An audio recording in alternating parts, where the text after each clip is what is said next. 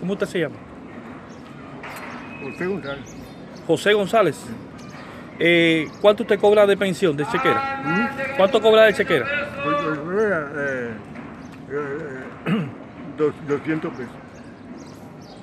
¿Y 200 le alcanza esa chequera a usted para...? Alcanza, no, pa, y- Yo he trabajado con más seriedad que, que, que, que este mismo gobierno. Más seriedad. Que me tiene mitad por eso, porque a mí no, pero yo te- cumplía con mi trabajo. Y me vendían y me rendían. Entonces hay que nunca trabajado.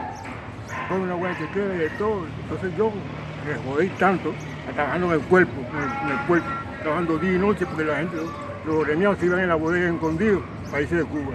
Entonces yo, apoyando el barco, para que coja estadía, trabajaba día y noche. No, pero yo, pues, yo, yo, yo, cab- yo cabrón, compadre. ¿Usted se siente desprotegido por el gobierno? ¿Eh? ¿Usted se siente desprotegido por el gobierno? ¿Usted se siente desprotegido por el gobierno? Compadre, sí, me siento mal, me siento mal, compadre, ya de, de estar muerto. Morir aquí. El comedor, el comedor ese no sirve. La comida malísima, todo se lo roban. El comedor está allá. Ah, es el comedor que está allí en Calle K. Ese, ese, ese comedor no sirve, no sirve, todo se lo roban. Eh, huevo, huevo hervido, eh, todo hacen hervido, hervido. No, no utilizan nada, nada con grasa. Viene el pollo macho, un cachitico cuando se acuerda, un cachitico de hueso.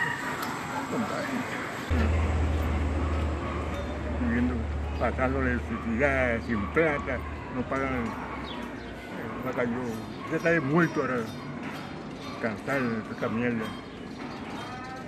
Viviendo por vivir nada más. ¿Usted cobra una chequera? ¿Usted cobra una chequera? Sí, sí, pues, lo que coge 200 pesados pesitos, enfermo. Enfermo, medicina, medicina. Y, Eh, pero ellos- ahora dijo Díaz Canel que a, a- a su chequera le iban a aumentar no, de bueno, 15 pesos. No, de, de, de, de pesos. Lo aumentan 40, 42, pe- 42 pesitos. Ajá. ¿Usted cree que, que eso Pues, será, será suficiente con este aumento salarial para cada trabajador eh, ver. sacie sus necesidades? Tengo, mi, mi problema y, y nadie, me- nadie me llena, nadie me resuelve.